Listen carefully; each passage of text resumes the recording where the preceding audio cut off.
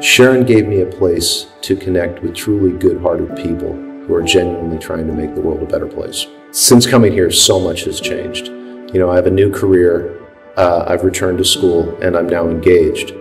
And I attribute all of that can be traced back to the fact that I've reached a point where I could quiet myself enough to hear God's voice. I uh, was a career faculty member at Virginia Tech, and during the pandemic, I saw that my job responsibilities had changed quite a bit, and I just decided, you know, it's time to, to go and do something that I've had a calling on my heart for a long time.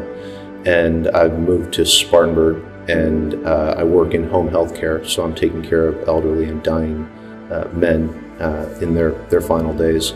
And I've returned to school to get certified as a massage therapist because uh, so many of those clients, they're just touch starved. And I feel like a big part of caring is just that human touch.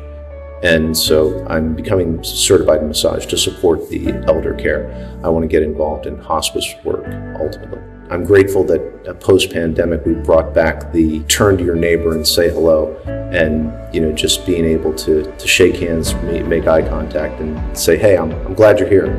And because it makes it easier after church to, to make a little connection. And uh, I think that it's, it's invaluable. We don't appreciate just how much information is being communicated when you touch someone's skin. Sharon will give people a place of respite and belonging it will give you an opportunity to grow your faith with others who are all trying to answer the same question What does it mean to be a Christian in the modern world?